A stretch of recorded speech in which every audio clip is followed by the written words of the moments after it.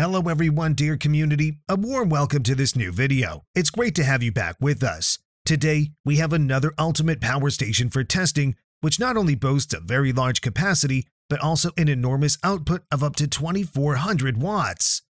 What else this large power station has to offer, how it performs in the test, and whether it's worth the investment, we'll take a detailed look at in today's video. I would say let's start right after the intro, but if you haven't already, quickly subscribe to this channel now and activate the bell so you won't miss any future videos. You can find the current prices of this great piece of equipment in the video description below, and with that, let's get started after the intro.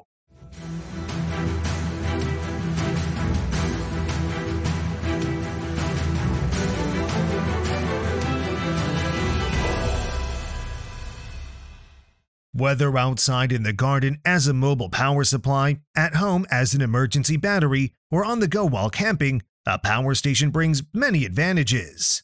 Today, we're testing a particularly large and powerful model from Fossibot, the F2400. What this powerful power station really has to offer and whether it is worth the investment, we'll take a detailed look at in today's video. Starting with the contents of the package, we naturally receive the actual power station from the large product box, followed by an instruction manual. Several cables are also included. Optionally, there's also a suitable solar module available with which we can also charge the power station on the go. However, we can just as easily use our existing solar modules, but more on that later. When we first take a look at the exterior, you can see from the displayed dimensions that this is definitely a solid device. This is mainly because we've installed a decent capacity of over 2,000 watt hours, which also results in a high weight of 21.9 kilograms. The black plastic casing of this power station is made of thick and solid plastic and undoubtedly makes a very durable impression. Furthermore, as you can see, the power station has a total of four large rubber feet on the bottom, ensuring a secure and non-slip stand. On the top, as you can see, there are two nicely sized handles on the right and left, which I find very comfortable to grip and, of course, allow for safe transportation of this relatively heavy power station. I also find it quite practical that the large power station offers a cover with quite a bit of storage space on the top between the two handles. This means that the cables included in the package are all stored here by default. Therefore, I don't have to carry the cables separately, I always have them directly with the power station. Alternatively, I can just as easily store my phone or similar items in here. Another advantage that the power station offers due to its large surface is enough space for several ports. These are all located on the front or on the right and left sides of the device. In the middle, as you can see, there's a nicely large built-in display. In this case, it's an LC display with a screen diagonal of 4.8 inches. In practice, this means that we can definitely read the display without any problems. The arrangement of the elements is also nicely clear. In the center is the current charge level and percentage, slightly smaller below that is the remaining runtime based on the current consumption. This is shown on the right side in watts, and next to it, on the left, is the current input power, also in watts, matching the orientation of the ports. The power station can be activated by this large rubberized button on the right side, and next to it is a rotary knob for setting the input power. This allows us to regulate the charging of the power station in several power levels. The ports for charging the device are located on the left side under this black cover, as you can see. In this case, there are two ways to charge the device. One is charging via AC, and next to it is another XT60 connector. Regarding the input power, this power station looks really good. Normal charging purely via AC allows a maximum power intake of up to 1100 watts. In practice, this means the device is fully charged within 2 hours. If we want to push things to the limit, we can combine these two ports because with the adjacent XT60 connector, we can add another 500 watts. In practice, this enables fast charging in one and a half hours, which is very impressive for this capacity. As mentioned earlier, the package includes a suitable power cord and an appropriate adapter, so we can either charge the device directly from our vehicle or use our solar panels with this XT60 connection. Fossibot also offers a powerful solar module that we can use on the go. This solar module also makes a very good impression in terms of craftsmanship, is foldable, making it super easy to store, and can be transported easily thanks to its handle. The setup is quite simple. Within one or two minutes, the solar module is set up and connected to the power station. Regarding the solar module's performance, the manufacturer specifies a maximum of 200 watts. In practice, I've also tested this for you and was able to determine a maximum output of around 150 to 160 watts from the solar panel in direct sunlight. In practice, with this huge capacity, we can easily let the solar module charge the power station throughout the day. On the front, you'll find all the outputs of the power station.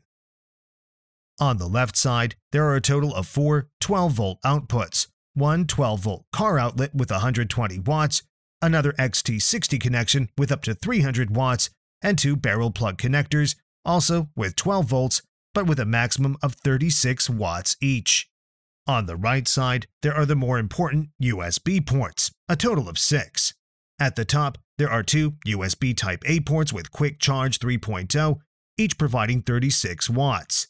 Directly below, there are two Type-C ports with power delivery, each providing 20 watts, another 20 watt port at the bottom, and next to it, a USB Type-C port with power delivery up to 100 watts, allowing us to charge larger devices like a laptop directly via USB Type-C.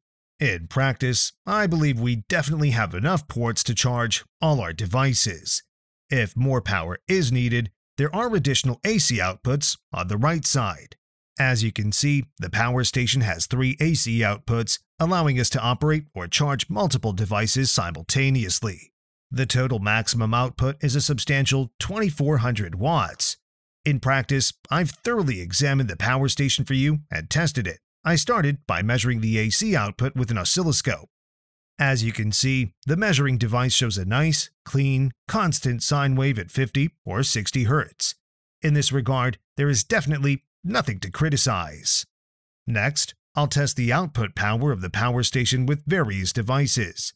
2400 watts is definitely a substantial amount. Whether the power station can actually maintain this consistently is another matter. I loaded the previously fully charged device with a constant 2000 watts. After a total of 15 minutes, I couldn't find any really impressive results. So, I extended the test, and after almost 30 minutes, the power station had already lost 50% of its battery charge, yet it still seemed extremely unimpressed. The fans were not running at full speed, and there were no performance drops to be seen. The only thing I noticed about this power station during the entire test is this. When the power station really gets going, there's always a slight plastic smell at the beginning. Otherwise, there's definitely nothing to complain about regarding its performance. This is also reflected in the diagram. As you can see, compared to other power stations already tested on this channel, the Fossibot ranks very high in terms of constant performance.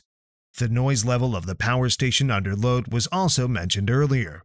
For this, I put the device under heavy load again and then conducted a noise measurement at a distance of 1 meter. As you can see, the decibel meter shows a value of just 39 decibels, which matches my impressions exactly. In its idle state, as I found, the power station is completely quiet because the fans do not run at all. Only when the temperature of the built-in battery cells or the internal electronics reaches a certain level do the fans start to spin slowly. Even at full speed, the power station remains extremely quiet, as can be seen in the graphic comparing it to other devices already tested. The fans of the power station are located on the right and left under foldable covers, which is also indicated by all the warning symbols. Before we put the power station into proper operation, we should definitely open these two covers to ensure that the fans provide sufficient air circulation inside. This can be somewhat annoying because every time I want to use the power station, I have to open these two covers. On the other hand, it also brings certain advantages. When the covers are closed, no dirt can get inside the power station. This makes the device perfectly suitable for outdoor use. Even under high load, I can only detect temperatures of around 40 degrees. Nevertheless, it's always advisable to open the covers during use. Finally, the most important aspect of this power station is its capacity and efficiency. The power station uses high-quality lithium iron phosphate cells, which are not only safer but also more durable compared to lithium-ion cells.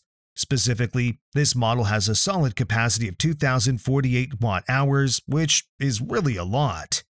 Calculated based on the weight, as you can see in the diagram, we have an energy density of around 93 watt-hours per kilogram, which puts this model at the top compared to others already tested.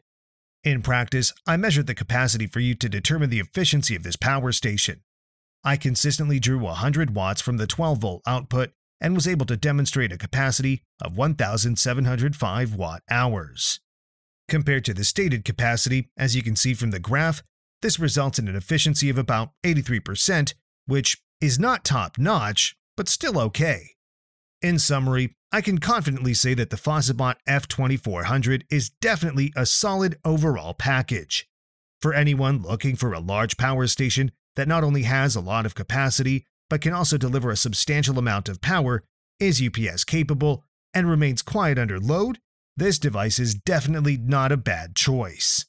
You can find the current prices of this power station to support this channel in the video description below. Thank you very much for your support.